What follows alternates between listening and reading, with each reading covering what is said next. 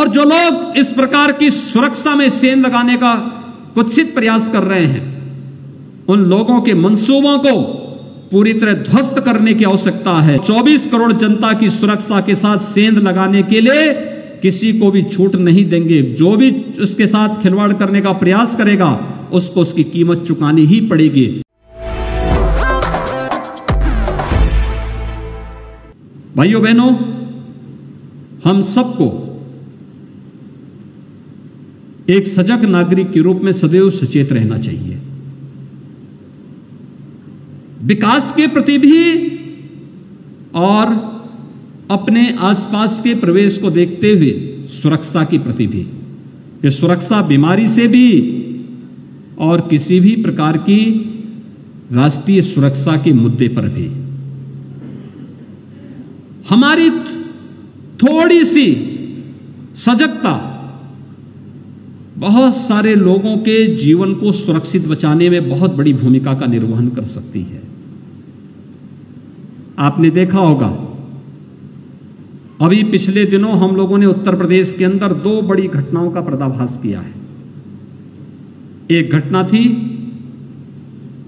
जो दिल्ली के बटाला हाउस से संचालित हो रही थी। उत्तर प्रदेश के अंदर मूक बगैर बच्चों को निशाना बना करके मतांतरण के माध्यम से उनको जिहादी कार्य के साथ जोड़ने और उसके माध्यम से सुरक्षा में सेंध लगाने का एक कुत्सित प्रयास हो रहा था, कुत्सित षड्यंत्र रचे जा रहे थे।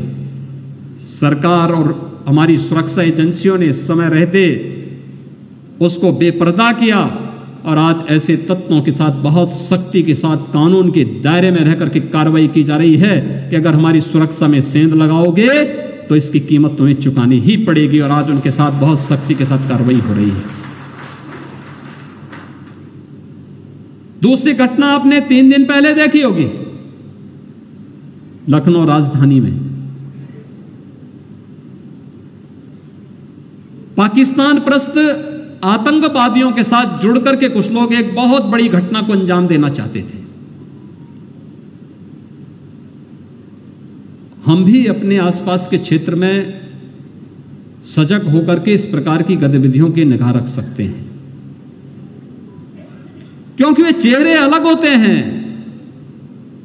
उनकी गतिविधियाँ संदिग्ध गतिविधियाँ। अगर आपके पास ह्यूमन इंटेलिजेंस है, जनता के साथ सतत संपर्क और संवाद है। तो आम जनमानस इस बात को बता सकता है कि कहाँ पे क्या चीज़ हो रहा है।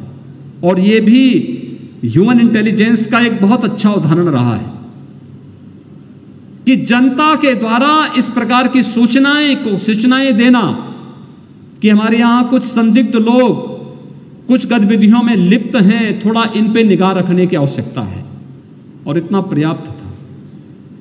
निगाह रखने के बाद जब देखा गया तो बारूद के जखीरे मिले हैं बॉम्ब मिले हैं, अन्य अत्याधुनिक हथियार मिले हैं। जब ये देश आज़ादी के माहौल में मशगूल होता, उस समय वह फिर कहीं ना कहीं कोई बड़ा विस्फोट करके सुरक्षा में सेंध लगाने की कुछ षड्यंत्र कर रहे थे। लेकिन समय रहते इस प्रकार के षड्यंत्र को बेनकाब कर दिया गया और मैं फिर इस बात को कह सकता हूँ, हम सबकी सजगता, आम नागरिक की सजगता, किसी भी व्यवस्था को सदैव सुरक्षित रख सकता है। एजेंसियाँ काम कर रही हैं, काम करेंगी।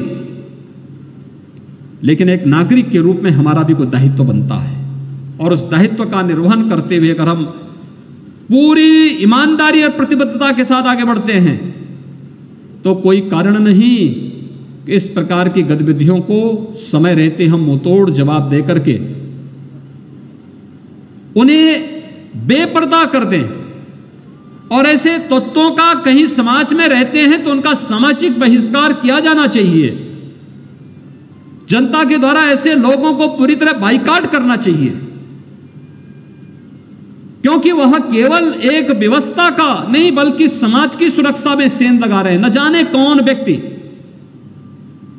बॉम्ब किसी की जाति, किसी का मत, किसी का मज़हब नहीं देखता। और जो लोग इस प्रकार की सुरक्षा में सेंध लगाने का कुत्सित प्रयास कर रहे हैं, उन लोगों के मंसूबों को पूरी तरह ध्वस्त करने की आवश्यकता है। और जनता की जागरूकता, और खासतौर पर जो हमारे जनप्रतिनिधि हैं जिन्हें वार्ड स्तर पर काम करना है, ग्राम पंचायत स्तर पर काम करना है, उनके संपर्क बहुत सघन होते हैं। वे इसमें एक बड़ी भूमिका का निर्वहन कर सकते हैं और बड़ी घटना को टाल सकते हैं। और उस बड़ी घटना को टालने में आपकी बड़ी भूमिका हो सकती है। इस दिश से आप सबको सजग रहने की आवश्यकता है। यह विकास तभी सार्थक है जब हर व्यक्ति सुरक्षित रहेगा। और इसलिए सरकार ने पहले दिन से इस बारे में कहा कि हम ज़ीरो टॉलरेंस की नीति के तहत काम करेंगे। सुरक्षा के मुद्दे पर प्रदेश की 24 करोड़ जनता को हर हाल में सुरक्षा प्रदान की जाएगी और 24 करोड़ जनता की सुरक्षा के साथ सेंध लगाने के लिए किसी को भी छूट नहीं देंगे। जो भी उसके साथ खिलवाड़ करने का प्रयास करेगा, उसको उसकी कीमत चुकानी ही पड़ेगी। और इसीलिए शक्ति के साथ प्रदेश के अंदर किसी भी प्रकार की समाज विरोधी और राष्ट्र विरोधी गतिविधि को कुचलने का कार्य हो, या पेशेवर अपराधी और माफियाओं के खिलाफ चल रहे अभियान का कार्यक्रम, पूरी शक्ति के साथ उनसे निपटने का कार्य चल रहा है।